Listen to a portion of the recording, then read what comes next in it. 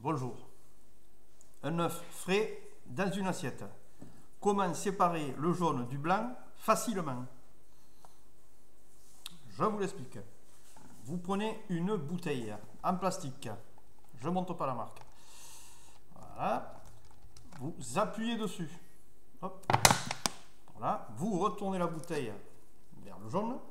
Vous posez le goulot sur l'œuf, le jaune. Vous lâchez. Hop le jaune est pris, vous le mettez dans votre assiette.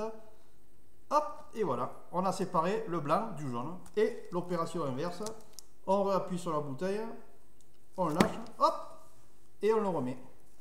Voilà, c'était la devinette du vendredi.